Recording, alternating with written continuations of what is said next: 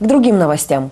2008 год президентом Российской Федерации объявлен годом Индии в России. Накануне рубцовчане могли наблюдать Харинаму – древнейший ритуал, зародившийся в далекой прекрасной стране. Если кому-то не довелось полюбоваться экзотическим действом, впечатлениями поделится Светлана Маслич.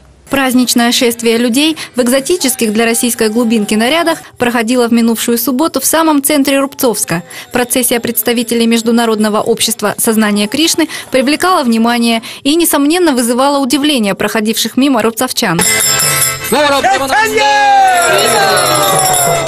В действительности этот ритуал можно обнаружить в рамках различных религий.